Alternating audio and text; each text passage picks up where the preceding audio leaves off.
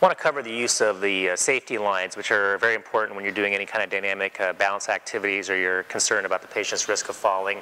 So these are simply hooked onto the unit. There's a number of different locations depending on how close or far away from the unit the patient is. You just want those to be um, straight in line with their shoulders. And um, so what it consists of here is two carabiners.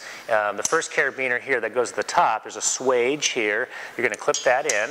And then hanging from the rope here is what's called a ropeman. It's an ascending device, and if you want to move it up, you just simply slide it up. If you want to adjust it down, you pull out on the orange tab here, and the cam cleat opens up, and you can slide it down, um, or you can just use your thumb on that and just pull the rope through whatever uh, mechanism works best for you. So um, we're going to place a patient in this device using the balance harness here. Um, so one of the methods that sometimes is easier if your patient can stand reasonably well on their own to start with is to take the harness, hang it from your safety lines ahead of time here, and I like to adjust the height of the harness so I think it's approximately at the patient's shoulder level. Um, so once we've got that in place, go ahead and we'll have our patient come over here. And we're just going to go ahead and put this harness, oh, step back one moment. I want to show one thing here.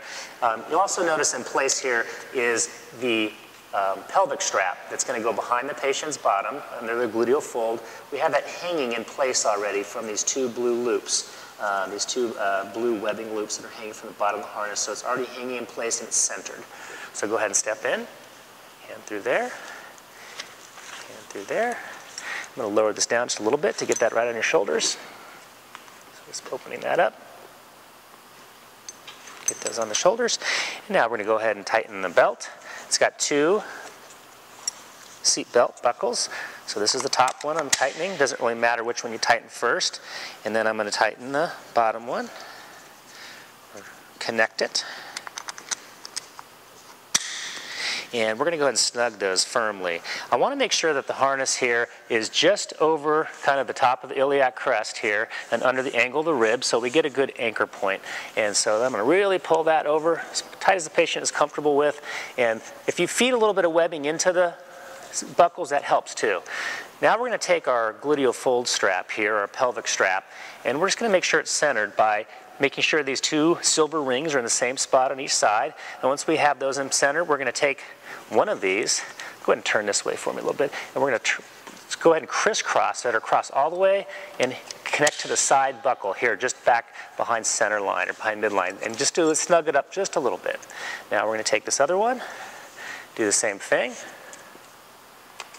snug it. And now we're really going to take up some slack. So the way, the easiest way to do that is, is hold on to the webbing and feed it in as you take up the slack. And then do the same thing on here. Feed it in as you take up the slack. Good. And we'll just make sure that's good and underneath your bottom. And if we need to take up a little bit of room here on the shoulder straps, we can slide those down to make those a little bit tighter so the shoulder straps don't fall off. And then just ensure we've taken up all the slack in our unit here. And now we are ready to do balance activities.